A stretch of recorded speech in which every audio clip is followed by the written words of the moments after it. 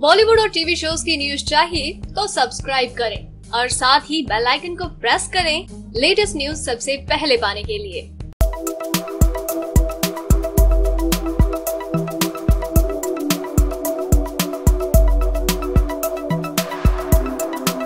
Big boss तेरह सितंबर के आखिरी हफ़्ते में शुरू होने जा रहा है और शो को लेकर अभी से बहुत सारे सेलिब्रिटीज के नाम सामने आ रहे हैं।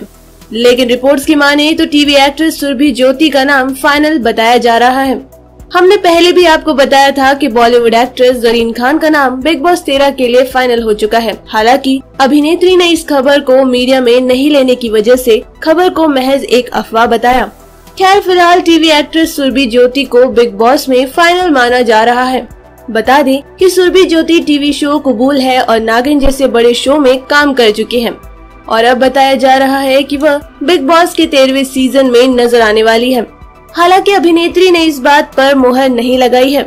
बता दें कि बिग बॉस तेरह को लेकर मेकर्स काफ़ी बदलाव कर रहे हैं और शो में कॉमनर्स को न लाकर सेलिब्रिटीज को लाया जा रहा है।